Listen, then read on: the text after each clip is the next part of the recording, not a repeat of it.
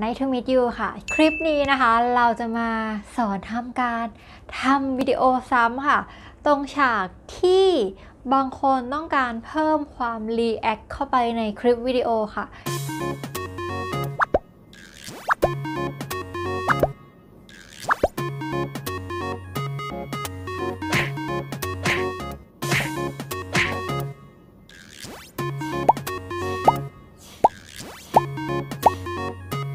ายความรู้อาจจะ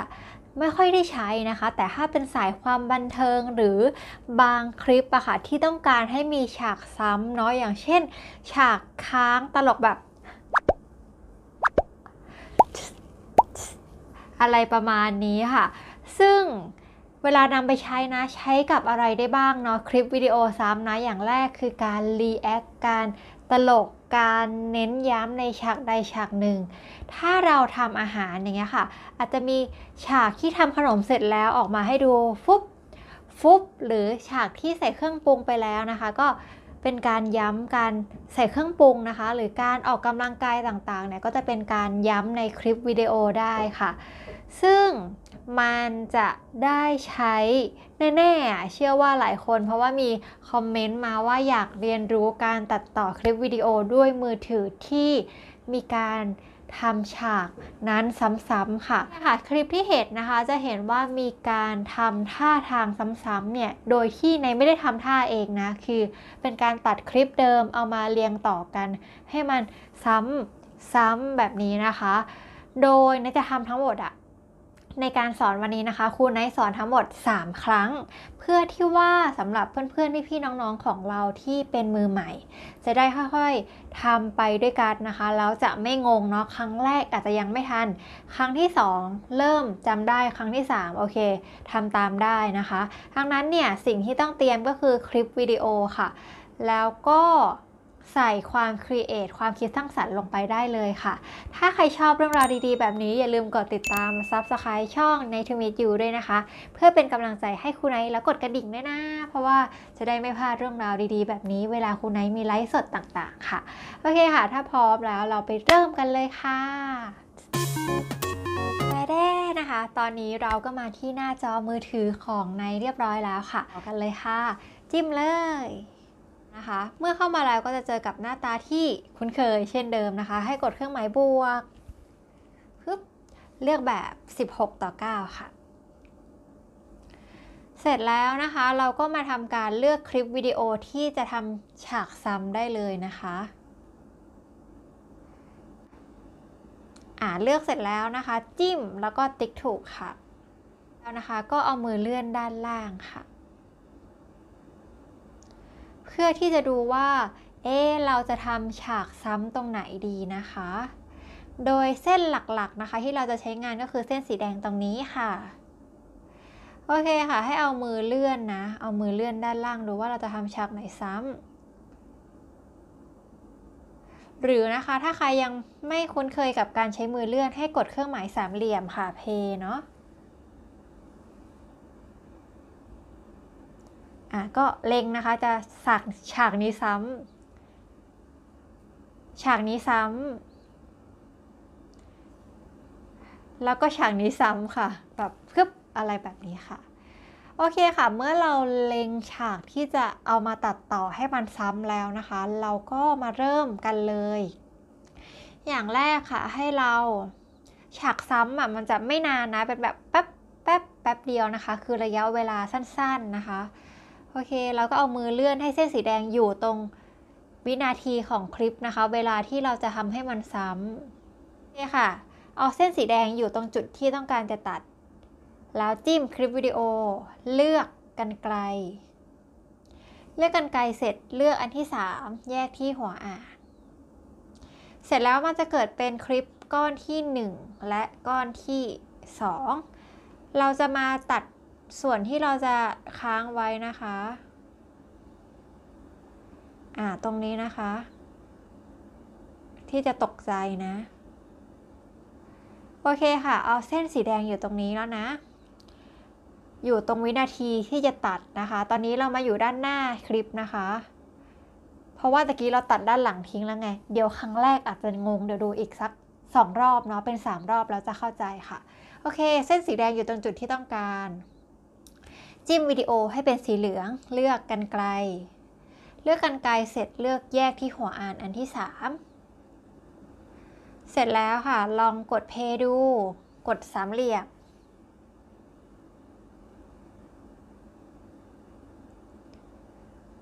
อะ ทีนี้ค่ะรู้สึกว่าฉากซ้ำอะมันยาวไปเนาะค้างตรงนี้นานไป ค้างตรงนี้นานไป เราจะเอาให้มันสั้นลงนะคะ ก็เอาเส้นสีแดงอยู่ตรงจุดที่ต้องการ จิ้มที่วิดีโอให้เป็นสีเหลือง เลือกกันไกล เลือกกันไกลเสร็จแล้วเลือกอันที่ 3 แยกที่หัวอ่าน เสร็จแล้วค่ะ เราใช้มือขยายได้ จิ้มไปที่จอเลยแล้วก็ขยาย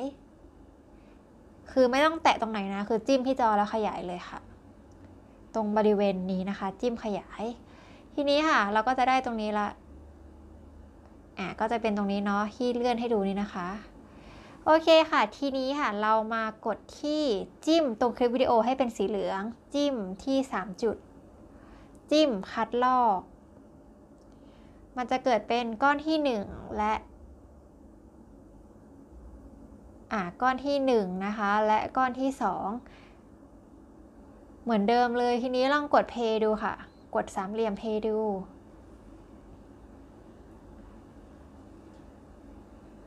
จะเห็นได้ว่าตรงส่วนอื่นที่เราตัดอะมันก็ยังคงอยู่เหมือนเดิม แต่ว่ามีเพิ่มตรงที่เป็นฉากซ้ำเพิ่มเข้ามาค่ะ ทีนี้ค่ะเราจะ Copy ฉากซ้ำเพิ่มอีกสัก 2 ครั้งนะคะ ให้จิ้มที่วิดีโอที่จะทำการคัดลอกหรือ Copy ให้เป็นฉากซ้ำเลือก 3 จุด เลือก 3 จุดด้านบนเสร็จเลือกคัดลอก คัดลอก1ครั้งแล้วนะคะ แล้วก็อีกครั้งหนึ่งเนาะอันนี้มี 3 อันและจะทำให้มี 4 อันอะยังเป็นวิดีโอตัวเดิมอยู่นะคะ เอาใหม่นะจิ้มที่วิดีโอที่จะคัดลอก แล้วก็เลือก 3 จุด เลือกคัดลอกโอเคค่ะ ทีนี้มันจะได้ก้อนที่ 1 2 3 และ 4 เรามาลองกด play สามเหลี่ยมพร้อมกันค่ะ อะกดแต่แรกเลย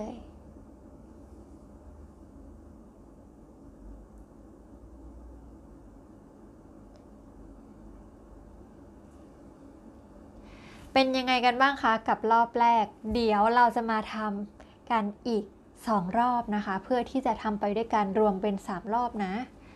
โอเคค่ะ มาทำกันที่ครั้งที่ 2 นะ เราก็เอามือเลื่อนดูว่าจุดไหนที่เราจะ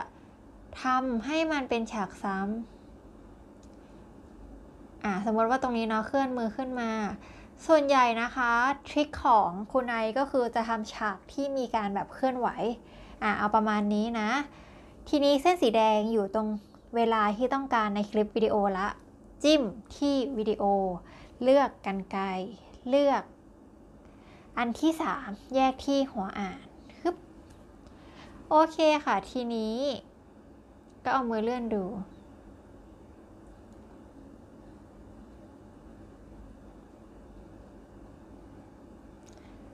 โอเคเนาะเราจะเอาประมาณตรงนี้แล้วก็ยิ้ม ยิ้มแบบนะคะ โอเคเวลาเราได้ละเราเอาเส้นสีแดงอยู่ตรงจุดที่ต้องการแล้ว ก็จิ้มที่วิดีโอ เส้นสีแดงและจิ้มที่วิดีโอให้เป็นสีเหลืองเลือกกันไกล เลือกอันที่3แยกที่หัวอ่าน ทีนี้มันก็จะเกิดอันตรงกลางละที่เป็นจุดตรงเนี้ยที่ฮึบ นะคะ ทีนี้ค่ะเราจะทำอันนี้สัก 4 อันทำไปตามพร้อมๆกัน ได้ก้อนที่จะทำเป็นวิดีโอซ้ำละ เลือกจุด เราเลือกคัดลอกโอเคค่ะ ตอนนี้จะได้มีสองซ้ำสองอันแล้วนะ ก็คือ 1 และ นะคะ อ่าหนึ่งและ 2 ทีนี้ค่ะเราจะทำทั้งหมด 4 อันเหมือนเดิมละกันเนาะประมาณ 3-4 อันมันจะได้เห็นชัดเจนว่ามีฉากซ้ำจิ้มที่ฉากซ้ำที่ต้องการนะคะ ให้เป็นสีเหลืองเลือก 3 จุดปุ๊บเลือกคัดลอกอ่าเป็นก้อนที่ 3 ละ แล้วก็เลือกคัดลอกอีกครั้งหนึ่งจิ้ม 3 จุดเลือกคัดลอก โอเคค่ะ เรามาลองกดสามเหลี่ยมดูค่ะ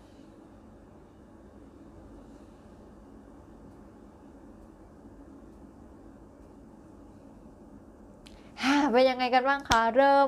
คล่องมือขึ้นไหม มาลองกันอีกรอบหนึ่ง ทีนี้ค่ะเราก็หาจุดที่ต้องการ เอาเป็นตอนนี้เลยนะคะ เส้นสีแดงอยู่ตรงเวลาในวิดีโอที่ต้องการเนาะ จิ้มที่คลิปวิดีโอ เลือกจิ้มให้เป็นสีเหลืองเลือกกันไกล เลือกแยกที่หัวอ่านอันที่ 3 เสร็จแล้วค่ะ เอา ก็มาจิ้มข้างนอกให้เส้นสีแดงอะอยู่ตรงจุดที่เราจะทำเป็นฉากซ้ำอะประมาณนี้นะคะ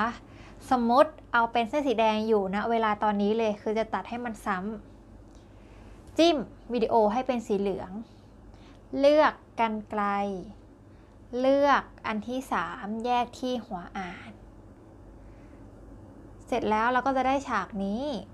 ตรงนี้เลย อะให้จิ้มตรงคลิปวิดีโอที่จะทำเป็นฉากซ้ำเลือก 3 จุด เลือกคัดลอกอะรวมเป็น1อันนะ1อัน 2 อัน อันสุดท้ายเอา 5 อันดีกว่านะคะ ก็วิธีการเดิมเลยจิ้มที่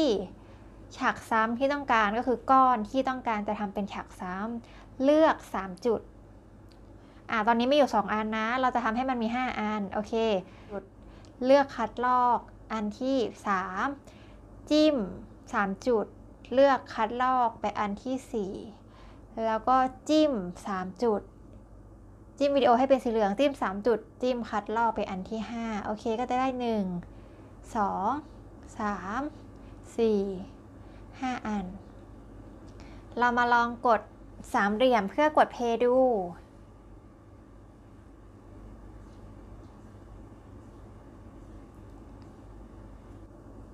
เป็นยังไงกันบ้างคะ เดี๋ยวเราไปสรุปกันอีกรอบหนึ่งค่ะ เป็นยังไงกันบ้างคะ กับการทำฉากซ้ำในวิดีโอนะคะ ซึ่งจะทำให้วิดีโอดูน่าสนใจมากขึ้น ไม่ว่าจะเป็นการอธิบาย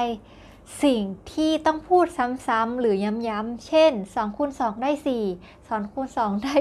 4 Hello แปลว่าสวัสดี Hello แปลว่าสวัสดี อะไรแบบเนี้ยค่ะ ก็ไปเอาไปปรับใช้ได้หมดเลยนะ หรือคลิปทำอาหารนะคะ ก็เป็นการ โชว์ผลงานที่ทำเสร็จแล้วก็ได้นะ หรือเป็นคือเอาไปใช้ได้เยอะมากอะทำละครสั้นก็เป็นคลิปตลกพรีเซนต์งานก็มีจุดที่ทำให้คลิปดูน่าสนใจ อันเนี้ยขึ้นอยู่กับความคิดสร้างสรรค์ของแต่ละคนที่เรียนกับครูไนท์เลยนะคะ ก็ถ้าชอบนะ หรือว่าอยากรู้เรื่องเทคนิคในการตัดต่อวิดีโอเทคนิค เทคนิคในการตัดต่อวิดีโอ เทคนิควิดีโอต่างๆนะคะตกใจก็สามารถที่จะคอมเมนต์ไว้แล้วก็กดติดตามกันได้เลยค่ะ โอเคค่ะ ขอบคุณสำหรับการติดตามนะคะ เจอกันต่อคลิปหน้าค่ะบาย สวัสดีค่ะ